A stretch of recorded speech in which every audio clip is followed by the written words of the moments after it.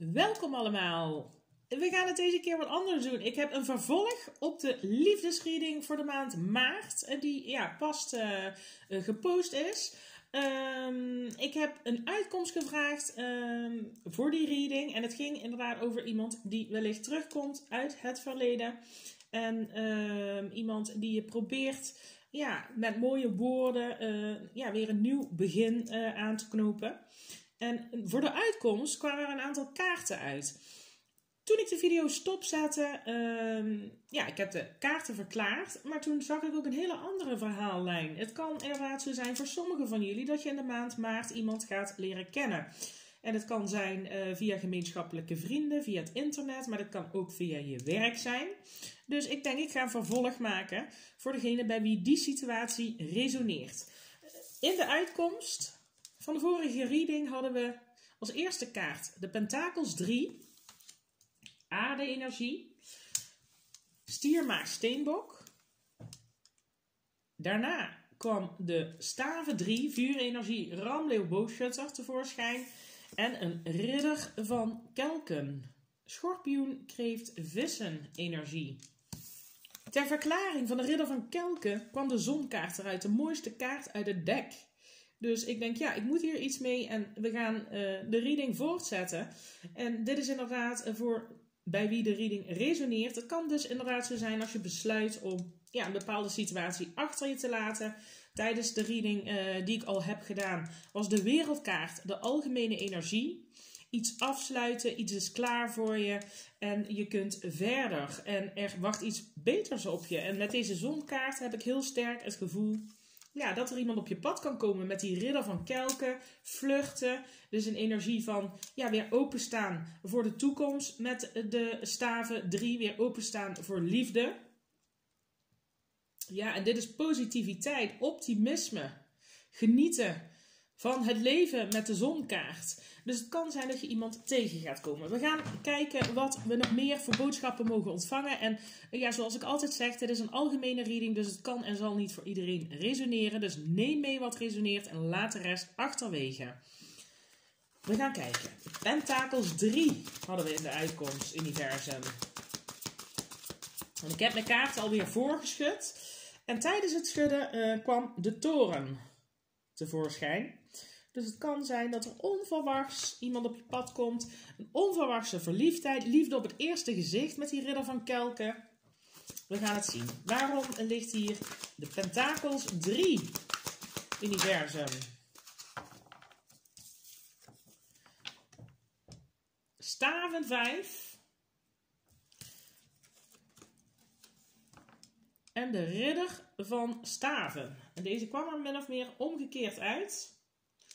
Staven 5, een kaart van competitie. Heb ik het gevoel onder de Pentakels 3. De Pentakels 3 is een kaart van samenwerken. Samenwerken aan een gezamenlijk doel. Ook erkenning krijgen, waardering krijgen van bijvoorbeeld collega's. Dus het kan te maken hebben met een werksituatie. Het kan ook te maken hebben met liefde. Onder op het dek hebben we de krachtkaart. Je ergens voor inzetten, ergens je tijd en energie in willen stoppen. Maar het kan ook betekenen dat je je terugtrekt. En er niet meer aan wil werken aan de situatie. En dit kan te maken hebben met ja, de eerste reading die we gedaan hebben. Waarom ligt hier de staven 5? Ridder van staven is iemand die heel veel passie voelt. Het avontuur wil aangaan. Wel kijken waar het uh, schip strandt. Uh, spontaan, impulsief af en toe. Het kan ook iemand zijn die uh, wat drama veroorzaakt. Chaos met die staven 5 erlangs, conflicten.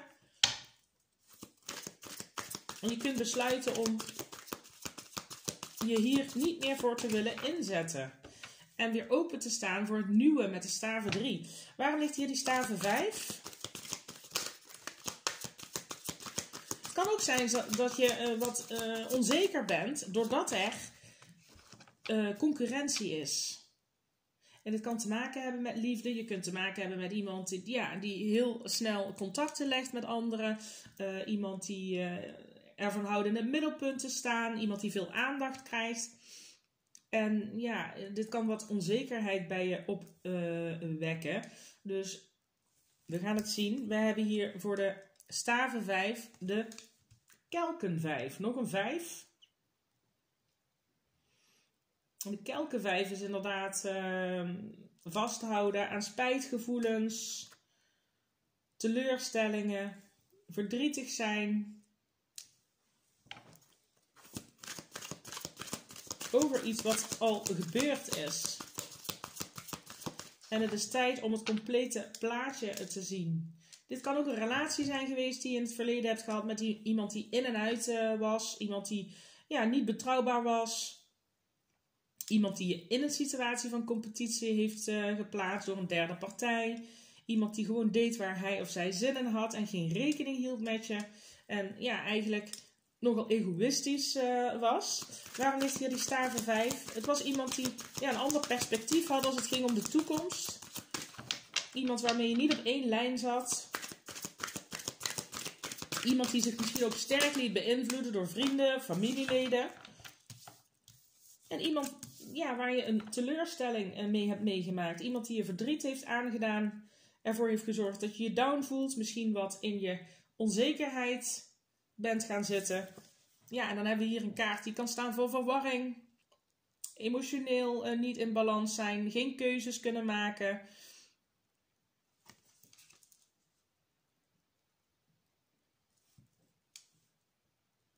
Meer informatie nodig hebben over een situatie.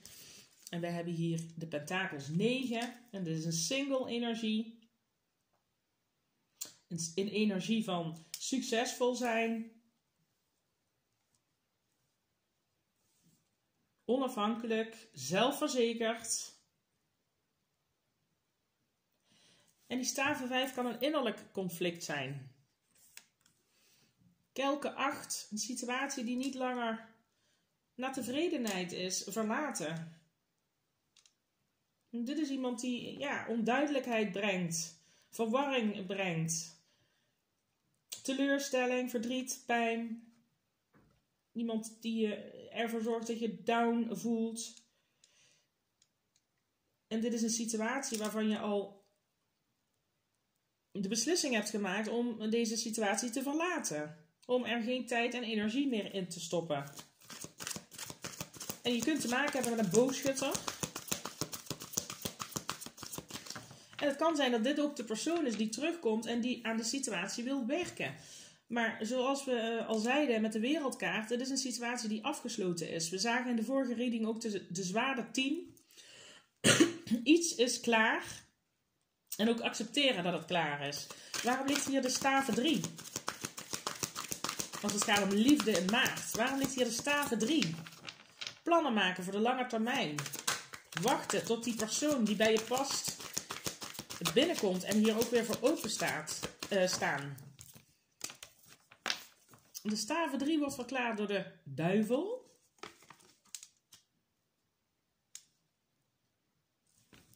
Nog een kaart voor de staven 3. En weer die energie uit het verleden met de kelken 6. En de duivel, dat kan staan voor je schaduwzijde. Voor datgene ja, wat een bepaalde verleiding brengt. Dingen, situaties, personen waarvan je weet dat ze niet goed uh, voor je zijn. Maar toch is er ook iets, uh, ja, iets, ik wil niet zeggen positiefs, maar iets wat ja, een verleiding is om ermee door te gaan.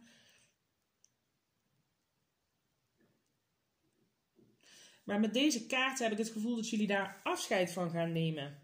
Die ongezonde, toxische uh, energie. En je kunt te maken hebben met een steenbok, met de duivelenergie. Maar het kan ook een toxische relatie zijn. Iemand uh, die ja, heel sterk in zijn ego uh, staat. Iemand die manipulatief is. Een situatie die ongezond voor je is. En dan met de kelke 6 het omarmen van je innerlijke kind. Het kan iemand zijn waar je kinderen mee hebt. Maar dit is loslaten ook van het verleden. Het kan zijn dat er iemand uit je verleden terugkomt. Dit kan iemand zijn die dus zich op afstand bevindt, zelfs in het buitenland. De staven 3 kan ook voor een aankomst of een vertrek staan. Maar ik heb het gevoel dat jullie ja, het verleden los gaan laten en met vergeving. De kelke 6 is nostalgie, is uh, ja, terugdenken aan de goede herinneringen. Vergeving voor datgene wat gebeurd is in het verleden of voor een bepaalde persoon, om op die manier weer open te kunnen staan voor het nieuwe. En ik heb het gevoel dat die ridder van Kelken ja, een nieuwe energie kan zijn. Uh, wie is de ridder van Kelken? Waarom ligt hier de ridder van Kelken? De ridder van Kelken. Waarom ligt hier de ridder van Kelken?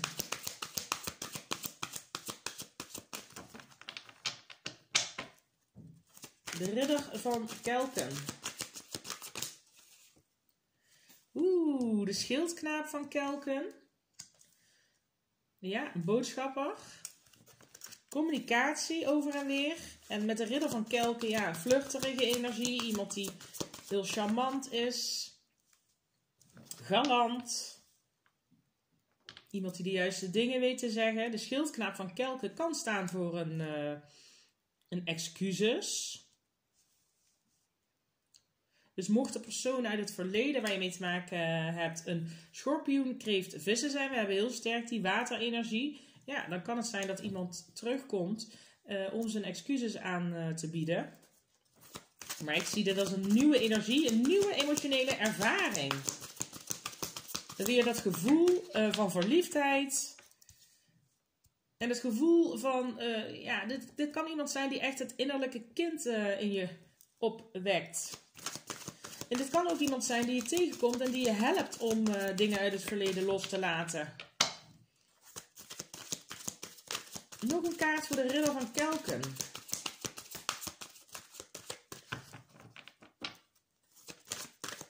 Boodschappen vanuit het hart.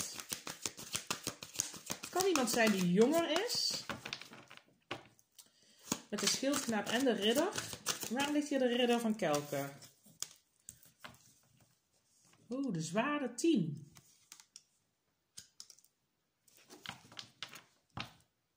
Oeh, en de wereld. De twee kaarten waar ik het zojuist over had. In de andere reading de wereldkaart onder op het dek en de zware 10. De situatie is afgelopen, de situatie is beëindigd. Waarom ligt hier de zware 10?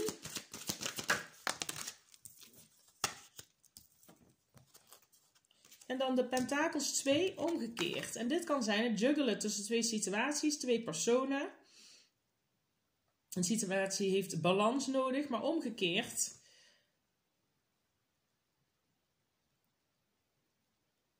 Komt er een einde aan het uh, twijfelen tussen twee situaties? Wordt er een keuze gemaakt? Wil iemand balans uh, brengen in de situatie?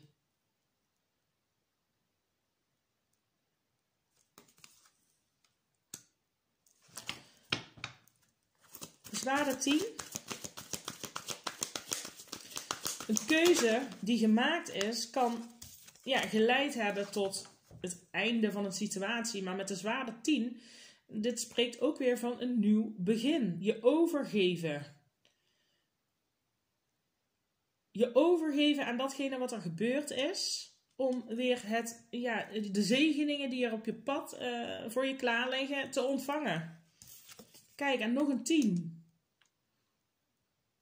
een moeilijke periode, een moeilijke relatie die beëindigd is. Dit kan de energie zijn van je persoon die je tegen gaat komen voor degene voor wie je de nieuwe persoon is. Kijk, en daar is hij, de toren. We zagen hem net, uh, of ja, ik zag hem tijdens het voorschudden. Onverwachts. En ja, het kan weer twee kanten op. We hebben heel veel energie die ja, erop duidt dat deze connectie al voorbij is. Dat het iemand is uit je verleden, iemand die je al kent, iemand die wellicht terugkomt het uit wil praten om een situatie op een goede manier af te sluiten met de wereldkaart. De wereldkaart is iets wat compleet wordt, iets wat eindelijk afgesloten kan worden op een goede manier. Waarom ligt hier de zon? Want we hadden de zonkaart als verklaring voor de ridder van Kelken. De zon is ook een kaart van spirituele ontwaking en het is een kaart van bevrijding, je vrij voelen, vrij als een kind. En het kan zijn dat kinderen een rol spelen in, eh, in, deze connectie. Waarom eh, ligt de zon hier? De zon.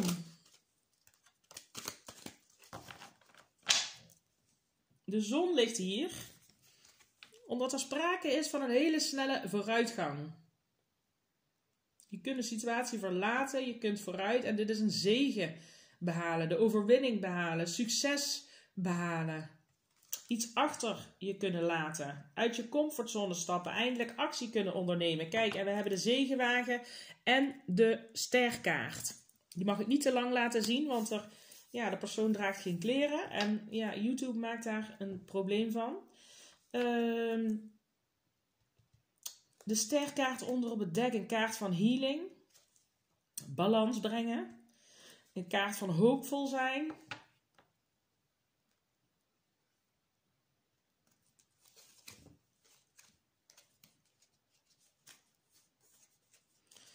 Oeh.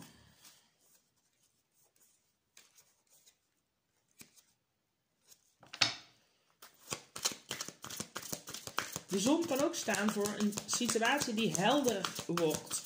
Het kan zijn dat er iemand uit het verleden terugkomt die helderheid gaat brengen. Komt met een excuses, in ieder geval met een boodschap vanuit het hart. Uh, iemand die zijn gevoelens uit. En het heeft te maken met uh, een einde. Het heeft ook te maken met ja, bepaalde lasten die eindelijk van je schouders af, ja, afvallen. Een opluchting. Bevrijding. Waarom ligt hier de zon? Nog een kaart voor de zon.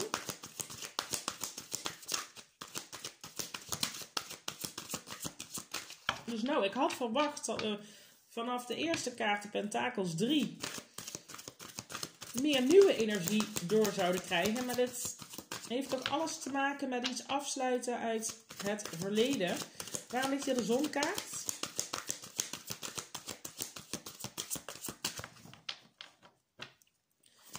de zonkaart. En de zon is leeuwenergie, de zegenwagen is kreeftenergie en we hebben hier de krachtkaart. Nog meer leeuwenergie, vurige, passionele energie, in je kracht staan en naast de zegenwagen. Dit is een kaart van daadkracht, zelfverzekerdheid, ook met die zon. Zelfverzekerd, uh, weer naar buiten treden, je, jezelf durven zijn, het niet uitmaken wat anderen denken. Ja, echt een gevoel van opluchting, van bevrijding.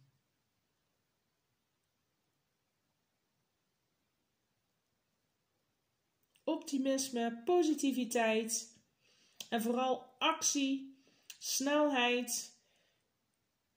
Met de zegenwagen een snelle verandering. Dus voor degenen die iemand nieuw tegen zullen komen, Het kan zijn dat er, ja, de situatie ineens heel snel gaat. Maar ik heb ook het gevoel dat het zeker te maken heeft met loslaten van angsten. Angsten die je meegedragen hebt vanuit uh, wellicht je kindertijd. Traumatische ervaringen, conflicten die je hebt gehad in een vorige relatie achter je laten. Met vergeving terugkijken op het verleden en volle vaart vooruit. Daar komt helderheid in de situatie. Helderheid in het leven. Hoe wil je vooruit gaan? En ja, volle vaart vooruit in je kracht staan. Kijk, want we hebben hier onder op het dek ook de maan. Een kaart van een situatie is niet wat het is. Angsten. Vertrouwen op je intuïtie. Je instinct. Wat je bepaalde dingen vertelt. En deze komt ook onder de zon. En de zon schijnt in licht. Dus waar er ja, dingen niet helder zijn, komt er helderheid. En dat kan ook met je eigen spirituele pad eh, te maken hebben. En daaronder ligt de gerechtigheid. Eerlijk zijn naar jezelf. En balans in een situatie. Gerechtigheid, gelijkwaardigheid.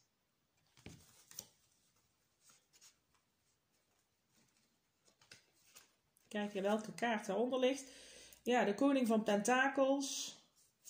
En de pentakels 4. En de koningin van kelken. Stier, maag, steenbok. Waarom ligt hier de zegenwagen? Waar gaan we naartoe? Waar gaan we naartoe met die zegenwagen? Waarom ligt hier de zegenwagen? Ja, dit zijn prachtige kaarten. Positiviteit, succes, overwinning, iets overwinnen. En met de krachtkaart, het kan ook staan inderdaad voor je schaduwzijde, uh, zelfdiscipline hebben. En van jezelf erkennen uh, ja, wat minder goede of goede trekjes van jezelf zijn. En ook diplomatiek zijn in een bepaalde situatie, maar vooral in je kracht komen staan, zelfvertrouwen, daad, ja, moedig, durf hebben. Waarom ligt hier uh, de zegenwagen?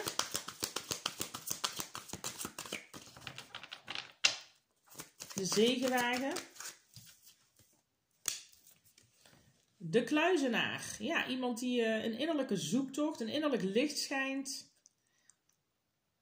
Durft zijn schaduwzijde, zijn diepste angsten onder ogen te zien en te voelen.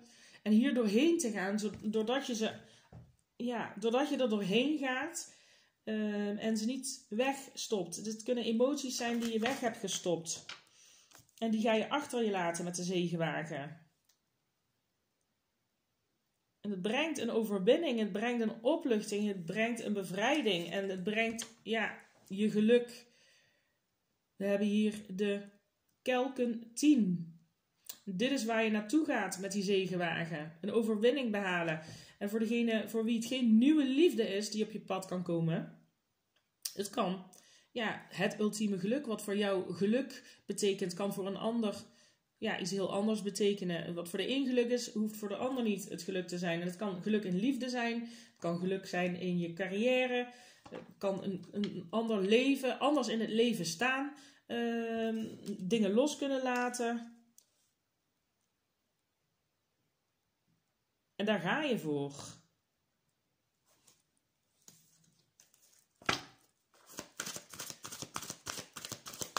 Voor degene voor wie er een nieuwe persoon binnenkomt. Iemand die een nieuwe persoon leert kennen. Ja, dit kan iemand zijn die dus uh, onlangs een relatie heeft verlaten. Nog een kaart voor die ridder van Kelken. Ridder van Kelken.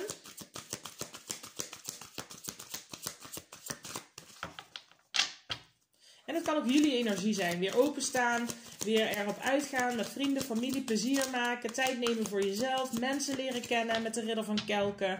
Um, boodschappen met die schildknaap van Kelken nieuwe ervaringen opdoen. Nog een kaart voor die ridder van Kelken.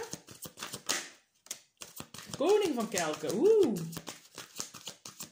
Dit is iemand die heel veel liefde voor je voelt.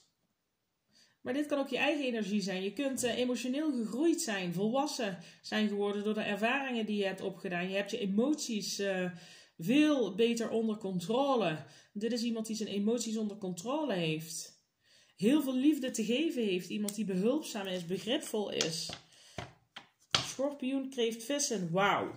En onder op het dek de koningin van kelken. Dus we hebben een match.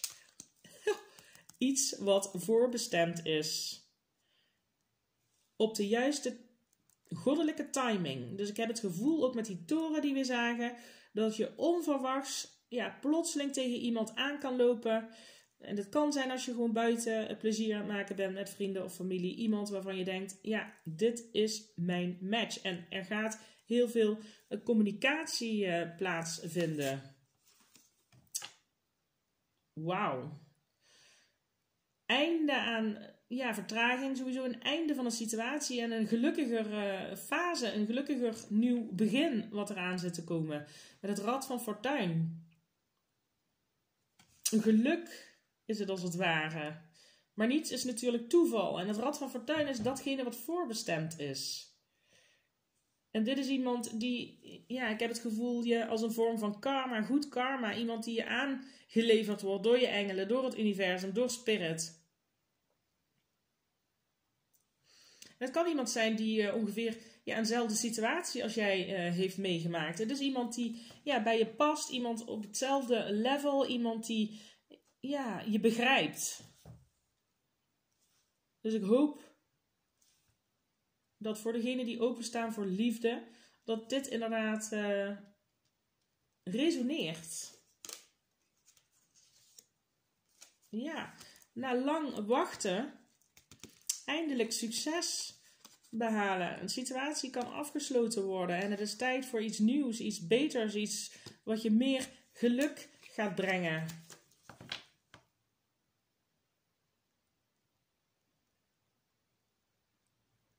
Ja, dus kijk hoe het resoneert. En uh, ja, als het resoneert, dan hoor ik het na de maand uh, maart of het inderdaad uh, resoneert. Dan kunnen jullie dat natuurlijk pas zeker weten.